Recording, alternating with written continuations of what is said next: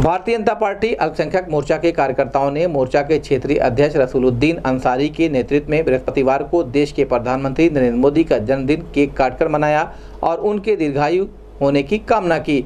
इस संबंध में भारतीय जनता पार्टी अल्पसंख्यक मोर्चा के क्षेत्रीय अध्यक्ष रसूलुद्दीन अंसारी ने कहा कि पूरे देश में माननीय नरेंद्र मोदी के विकास के नाम का डंका बज रहा है। सबका साथ, सबका विकास का नारा देने वाले भारतीय जनता पार्टी के शासनकाल में मुस्लिम समाज अपने आप को सबसे ज़्यादा सुरक्षित महसूस कर रहा है। एक बार फिर कार्यकर्ताओं ने मोदी जी को प्रधानमंत्री बनाने की हुंकार भरी है। इस संबंध में गोरखपुर न्यूज़ से बात करते हुए भारतीय जनता पार्टी अल्पसंख्यक मोर्चा के क्षेत्रीय अध्यक्ष रसूलुद्दीन अंसारी ने कहा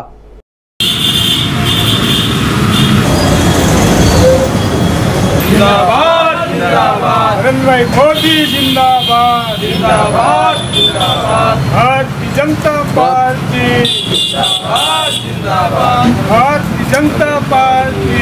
जिंदाबाद नरेंद्र मोदी जिंदाबाद। जिंदाबाद जिंदाबाद। भारतीय जनता पार्टी। जिंदाबाद जिंदाबाद। अल्पसंख्यक मोर्चा जिंदाबाद। जिंदाबाद जिंदाबाद जिंदाबाद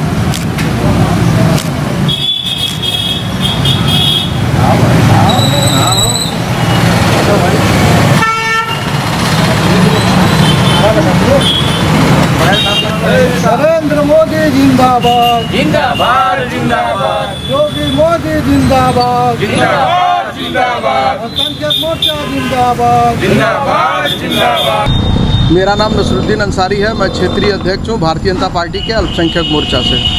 आज माननीय प्रधानमंत्री श्री नरेंद्र मोदी जी जो भारत के यशस्वी प्रधानमंत्री हैं और पूरी दुनिया के लिए एक मिसाल कायम है उनके आज जन्मदिन पे हम लोग 14 तारीख से लेकर के आज 17 तारीख तक सेवा सप्ताह के रूप में मना रहे हैं, जिसमें हम लोगों ने गरीबों के उत्थान के लिए, गरीबों की मदद किया है, स्वच्छता अभियान के तहत साफ़ सफ़ाई करके, और आज इसके बाद यहाँ से जाने के बाद गरीबों लाचार में हम लोगों ने फल वितरण का कार्यक्रम रखा है।